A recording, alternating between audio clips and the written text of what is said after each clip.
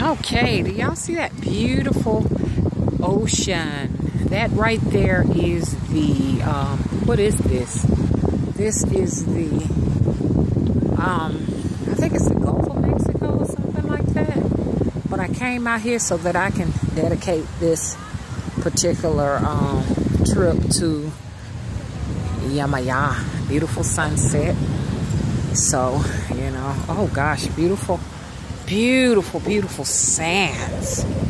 Wonderful sands. And um, I always have to go to the ocean at least about two to three times per year to soak my bottom and get it all clean, you know, and uh, you know, you know, get these chakras and stuff like that cleaned up and stuff like that, and and we're gonna talk about it a little bit further in another video.